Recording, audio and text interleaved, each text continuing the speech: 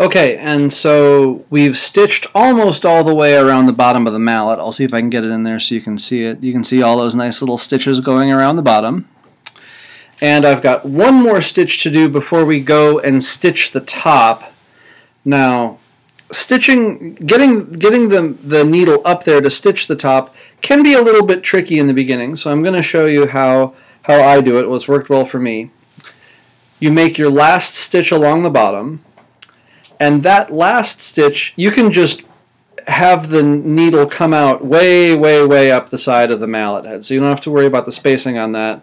You can see here that the, the, the needle is coming out way, way up the mallet head.